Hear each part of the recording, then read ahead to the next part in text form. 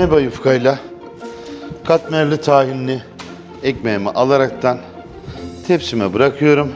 Tüketicinin sağlığını temel ilkesi haline getirmiş, Meba Yufka Aksu TV ekranlarında yayınlanan Hayatın İçinden programında Şef Mesut Yoğun'un usta ellerinden birbirinden farklı lezzetlere eşlik etmeye devam ediyor. Meba yufkamızın yapmış olduğu kuruma yok. Çok güzel bir yufka. Vatandaşlar tarafından yoğun ilgi gören programda usta şef Mesut Yoğun repertuarında bulunan Meba Yufka ile farklı lezzetleri izleyicilerle buluşturuyor. Böreklerimizi sarıyoruz.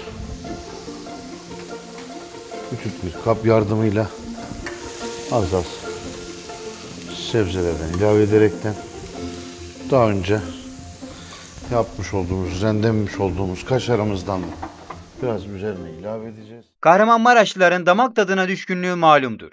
Bakalım Fulya gıda kalitesiyle ilkelerinden ödün vermeden, namı ülke sınırlarını aşan Meba Yufka, ilerleyen süreçlerde hangi lezzetlerle izleyicilerimize hitap edecek?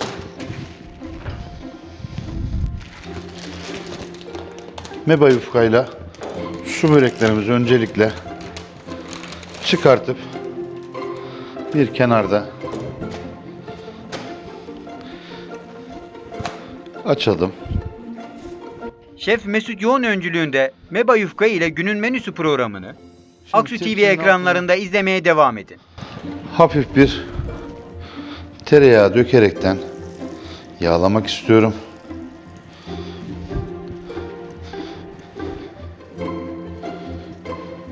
Her katına süreceğim yağımla beraber hazır bir şekilde